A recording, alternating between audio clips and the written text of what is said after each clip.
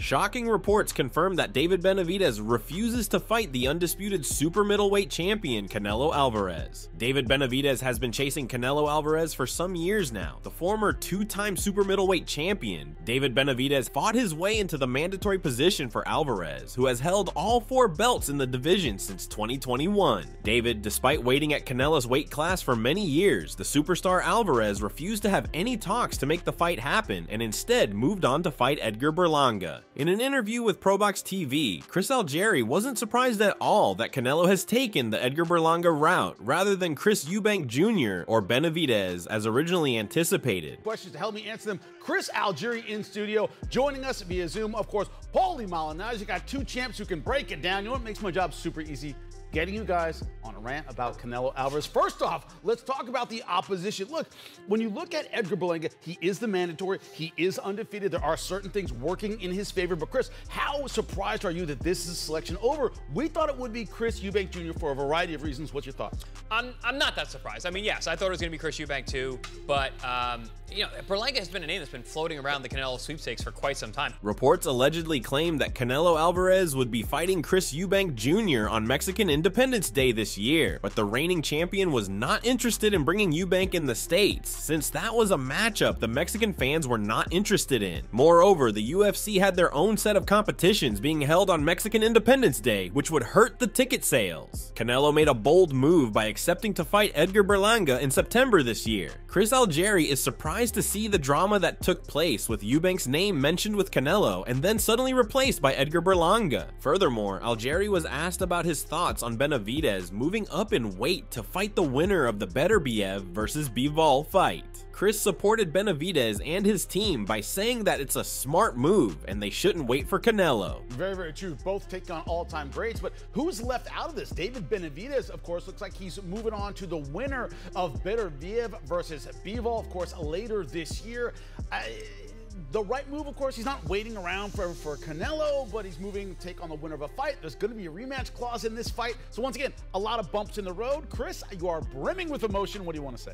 Listen, I love the way David Benavidez and his team are moving. They're, they're masters of their own fate. They're not waiting around for Canelo. David Benavidez' promoter claimed that they will be taking the winner of the Beterbiev Bivol fight next year on Canelo Alvarez's Cinco de Mayo date in May 2025, which seems to be a really cunning move by David's team. They are aiming to go head to head with Canelo. Boxing enthusiasts were confused at Benavidez fighting on the same date as Canelo, so one fan posted, so instead of fighting Canelo, he wants to fight on a day when Canelo wants to fight, make it make sense. Another boxing enthusiast tried to make sense of the horrible mix-up by saying Benavidez is likely looking at another year of waiting to fight for the title. We're likely going to see a Bivol versus Beterbiev rematch after they meet, which will benefit Benavidez because it will give him another fight to get used to the weight. Hopefully he finally gets his shot at another title. Algieri further commented on David's bold move to stay at light heavyweight 175 pound weight class. He said that it's the right thing to do, and David is the person who has the right mindset mindset of a fighter. Chris claimed that David has the right answers to every interview that they have had with him. Benavidez just wants to fight, and he doesn't care about the money, he just wants to prove himself in the ring. Benavidez claimed that he wants all the smoke so his name can be remembered in history, and that is the quality of a young champion. Chris Algieri further commented that Benavidez is making power moves. Algieri seemed skeptical at whether staying at the current weight class would be a smart choice to make for Benavidez. Chris added, Is it going to be the right move? I don't know, like you said, all those moving parts, the rematch clauses, the injuries, the older fighters. Benavidez sometimes can't even make it to fight sometimes, he might be left out in the cold. Furthermore, Paulie Malignaggi was asked if Benavidez could be given the chance to fight Canelo sometime next year after he fights the winner of the Beterbiev Bivol fight. Paulie explained that there may be rematch clauses in the fight and other hidden agreements. Yeah. And look at this promotionally, Paulie. Mauricio Sulaiman saying he gets the winner of Bivol versus Beterbiev. There's got to be a rematch clause in that fight. Would you trust a word that Sulaiman says after, in your words, protecting Canelo for two years? What's your thought on Benavidez kind of taking the word that I'll get this big fight some point, probably early next year? Yeah, I, am not really quite sure. Um, you, you, you made a good point, Jimmy. I, there, you have to see how that fight goes. There may be a rematch, or maybe a demand for a rematch. Could be an injury. Yeah, anything. An injury could be a lot of things. I'll tell you what, I like the way Benavidez is moving in that he's chasing the world championship. Paulie Malignaggi said that if David Benavidez stayed at 168 and fought Morrell, he may win or lose. Depending on the outcome of that fight, he may still not get the chance to fight Canelo. Paulie completely violated Canelo Alvarez by saying that he's the biggest duck in the history of boxing. You will not find a bigger duck than Canelo Alvarez because he's been avoiding the top contenders all this time. If someone were to take a microscope and find ducks in boxing history, they will not find anyone greater than Canelo. Malignaggi further commented that if David fights Morrell, then it's not a world title shot, so he may not get the recognition he deserves, and to top it off, the fight with Morrell would be a really tough fight for Benavidez. Paulie further explained the irony behind Canelo ducking Benavidez. Morrell's not going to be able to get a title shot at 68 either, because once Canelo is done ducking Benavidez, he's still gonna have Morrell around, who's gonna be your top contender, and he's not gonna fight him either. So you know he's gonna be in the same predicament, unfortunately. So this guy's gonna go down in history as the two of the, the two top two biggest ducks in the history of boxing as a champion. Malignaggi further commented that it would have been better for Canelo to vacate the titles because it would have been much less embarrassing. Many champions in the past have vacated titles before, and there's nothing wrong with that. Chris Algieri interrupted Paulie on his remarks of Canelo going down in the history books as the biggest duck. He pointed out that the hardcore boxing fans would know that Canelo avoided a fight with two guys in his division, but that will not be written in the history books. Moreover, Paulie said that when you look at a boxer's career, then it makes you wonder who that boxer defended titles against, and then people will know what actually happened. Paulie painfully admitted that we are in an era where fighters are avoiding fights more than ever. Additionally, Chris pointed out that James Lights Out Toney was interviewed about the comparison of boxers in this generation and the previous generation, where he said that his generation was way better because everybody fought everybody. Right now, the irony is that fighters can avoid each other for years at a time and don't ever have to fight each other. In addition, Paulie gave the example of Riddick Bowe when he ducked Lennox Lewis. You could do the what Riddick Bowe did. That was a big duck too with Lennox Lewis where you put the belt in the garbage can. But at least Lennox then, the weight class was able to move. Lennox picked up the world title, you know, there was a demand for that. Well, he gave up the belt. Malignaggi additionally commented that the weight class ended up moving and there were still fights going around as he compared Lennox Lewis and Riddick. Paulie painfully stated that there is a logjam when Canelo has all the belts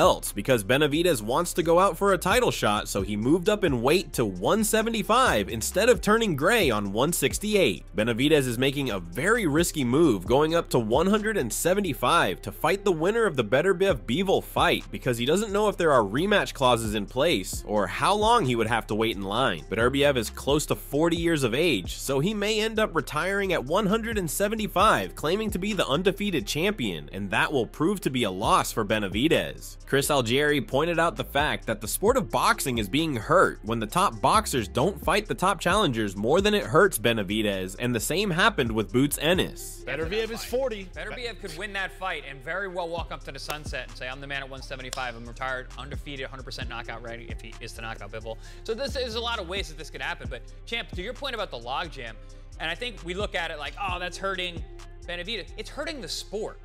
This only happens to the best fighters in the in the weight class below the the up the up, you know the ultimate level. This happened with um, with Boots with Boots Ennis. Algieri painfully described the story of Boots Ennis when he was stuck in the mix of Errol Spence claiming to fight Crawford in 2023, just like Benavidez is stuck in the mix of facing Canelo. Boots Ennis got left on the sidelines because Errol was preparing to face Crawford, and Ennis waited around for a long time when he could have been making money or winning better fights. Algieri claimed that David and Boots are one of the best fighters in the world, but we are not seeing them fight very often. On the other end, former professional boxer Antonio Tarver was asked if Canelo's legacy could be hurt if he avoids Benavidez and goes on to fight Edgar Berlanga. Antonio responded the same as Paulie that Canelo is on the business side of things. Switching gears a little bit, Canelo's been rumored to possibly be fighting Chris Eubank. Uh, could happen in the UK, they're saying. Berlanga's in the pot. If he takes either of those fights and he doesn't fight Benavidez, do you think he's hurting his legacy in any way? I wouldn't say hurting his legacy right now. You know, we got to understand Canelo is on the business side of the game.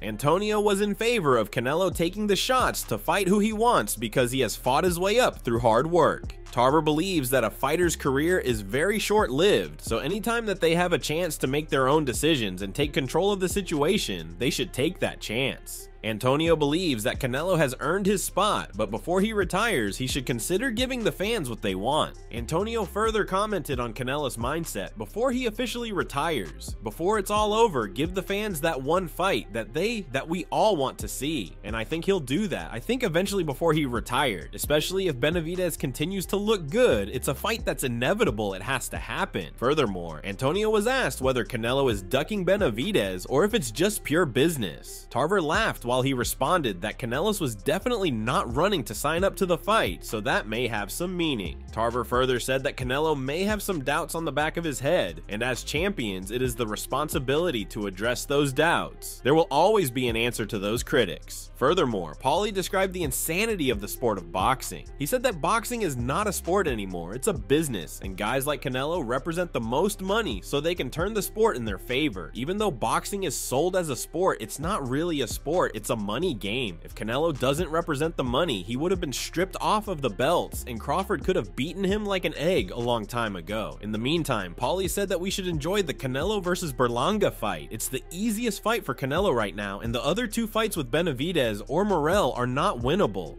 Chris Algieri commented on David's bold move of fighting on the same date as Canelo. Algieri was also worried that this will give Canelo another reason not to fight Benavidez because Alvarez has already stated that Benavidez doesn't respect him, so he's not going to get the fight. Jaime Munguia, on the other hand, respected Canelo, so he got the chance to face Alvarez this year. Chris thinks that Canelo is making useless excuses, but he also commended Benavidez for putting the pressure on the super middleweight champion Alvarez. Moreover, Paulie talked about Canelos' excuses for fighters being more respectful towards him. Paulie said, think about the respect that's just that's just an excuse, cause Andre was as respectful as it could be when he asked Canelo at the post-fight press conference at one of his fights when he was going to give him his shot. Andre was as respectful as it could be when Canelo wants to duck you, Canelo will duck you. You know what I mean? Paulie mocked Canelo by saying that if he were Benavidez, then he would be mocking Canelo's mother, his grandmother, his kids, because Canelo is never going to fight me whether I respect him or not. Malignaggi further stated that Canelo would know that I am better than him and I could run him over like a train, so he deserves to be disrespected at that point. Additionally, Paulie was concerned whether it was a smart move to face Canelo on the Cinco de Mayo date from a business perspective, because Canelo still maintains the business. In another interview, Gabe Rosado was asked about which matchup was better between Canelo fighting Benavidez at 168 or 175 pounds. Gabe would love to see Canelo and Benavidez at 168.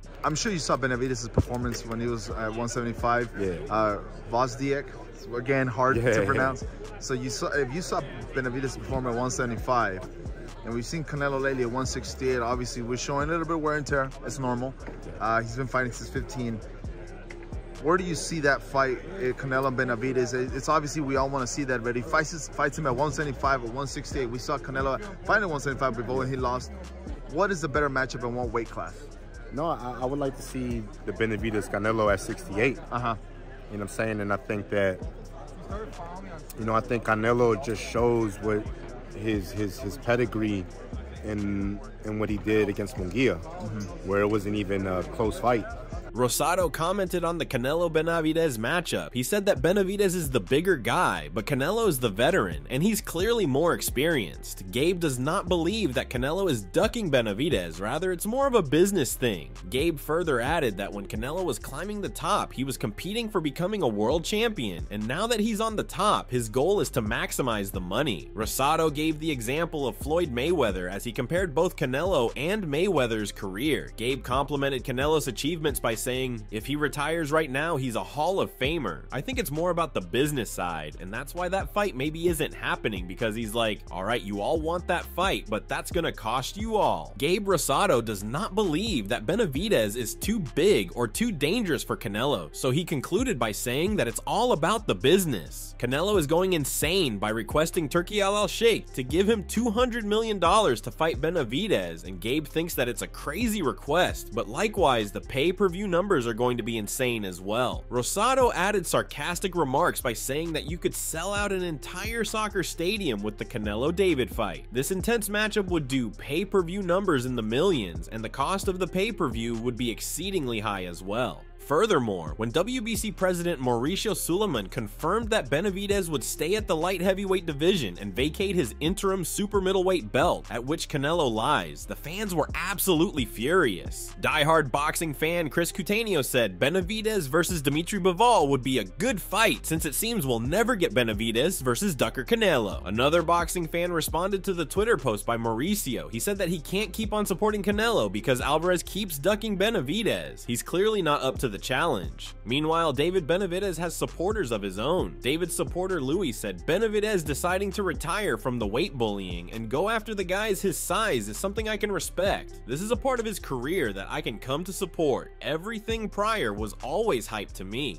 Dude looked good against smaller competition because he was supposed to. I don't believe he's a monster at 175, but I'm definitely interested in finding out now. Another supporter commented in favor of Benavidez as he said that Canelo has been ducking Benavidez for three years, and he would just be going in circles. Bivol already claimed that he would be fighting David if he wins. Jean Philippe, however, said that Bivol is going to knock Benavidez back into the super middleweight division, and it seems as though Canelo won the duck. Will David Benavidez fight Canelo in the near future? What are your thoughts on this? Let us know in the comments below, and as always, subscribe for more content like this.